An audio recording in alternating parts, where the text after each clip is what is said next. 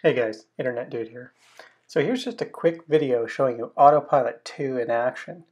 So I set the cruise here for 40 kilometers per hour. You can see there's a line on the left and uh, just watch what happens because that line on the left disappears and uh, right here and uh, I'm really impressed with what it did here. So watch how it it actually keeps itself in the right lane.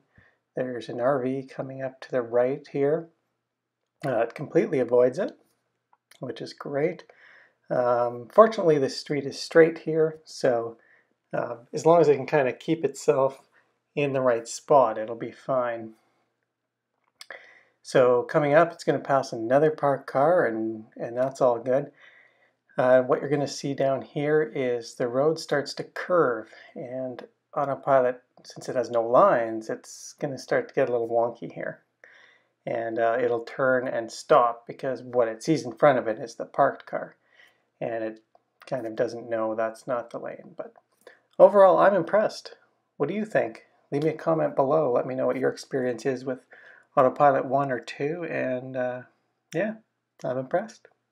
Thanks for watching